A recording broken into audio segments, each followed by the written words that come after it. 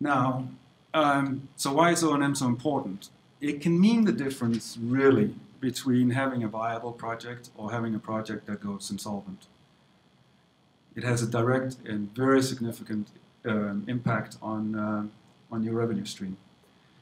And uh, OEMs are typically, as you know, offering a 97 or so percent availability guarantee on the equipment. And uh, you know that that's fine, uh, but you may want to consider something that's known as an energy yield guarantee.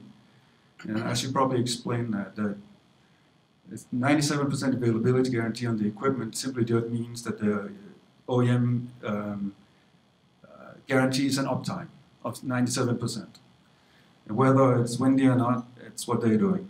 Uh, an energy yield guarantee looks at the energy that flows through the project uh, and it matches that up against the actual output. So you have a theoretical energy produced versus an actual energy produced.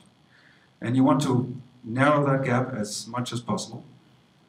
And the better the OEM provider, uh, oh, sorry, the O&M provider, uh, provider performs, the better, you know, obviously the more revenue is produced, and some of that offside could be shared equally if they fall below a guaranteed level, then that should be liquidated damages.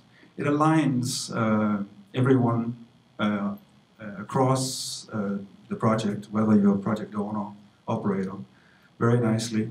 We because we, we, have seen in the past that 97% availability guarantees are, are great, um, but towards the end of the year, when uh, uh, the provider, it's typically the OEM, uh, knows that they're no longer in jeopardy of running below 97%, there's a risk that they start throttling back and they are not nearly as anxious to address issues and what that does is simply leave um, you as investors in these projects with a sub-optimized, sub-optimized operation.